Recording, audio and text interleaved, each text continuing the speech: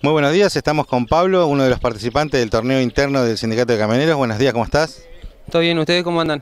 Muy bien, gracias. Bueno, contanos tu experiencia, cómo estás llevando, viviendo esta jornada de fútbol. Eh, la verdad que es un torneo muy lindo, muy competitivo, donde se puede venir a, a, compartir cosas con la familia, que eso es lo muy importante. Es algo muy lindo que nos está brindando Camionero, ¿no? Que, que es el predio acá, que es grandísimo. El torneo es muy competitivo, muy lindo, hay buenos equipos, eh, la verdad que muy bien.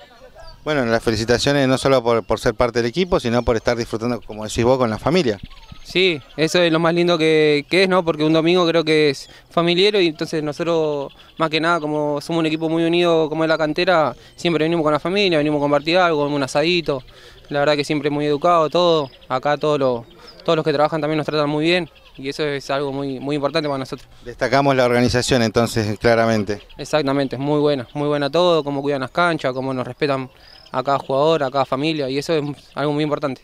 Bueno, se te nota que estás algo nervioso, no sé si ya jugaron, van a jugar, no sé, jugás de, de lateral, ¿qué haces?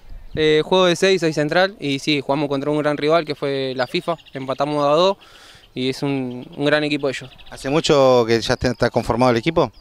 Venimos jugando hace casi dos años juntos y nada, creo que este es el primer torneo que jugamos eh, de camionero y nada, el objetivo de nosotros es tratar de salir campeón. La particularidad de esto es que son todos compañeros de trabajo. Todos, todos somos compañeros de trabajo, laburamos en Andrán y todos y todos tiramos para el mismo lado.